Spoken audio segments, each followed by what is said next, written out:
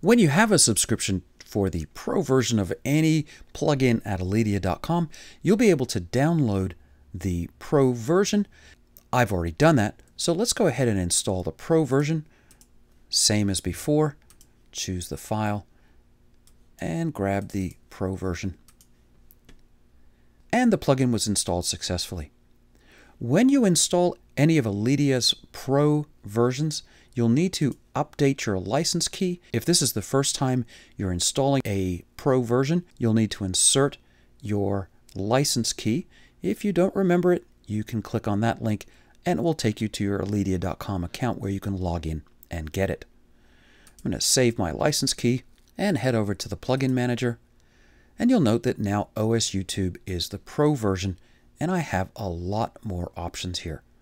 Just so we can see how they work, I'm going to turn them all off, change it to a light theme, change the scroll bar color, hide the controls after the video begins, and this is something I usually would leave as it is.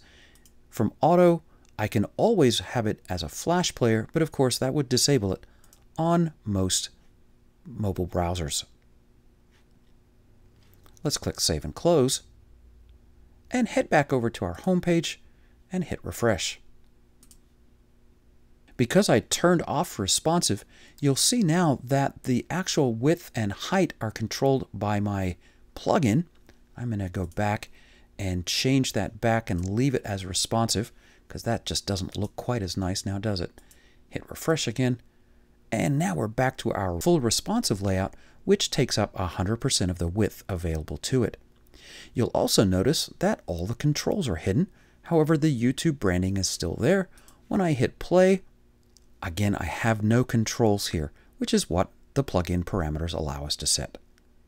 So the Pro version adds all of those features, which I can turn on or off at will. And so that's a quick overview of the Pro version of OS YouTube.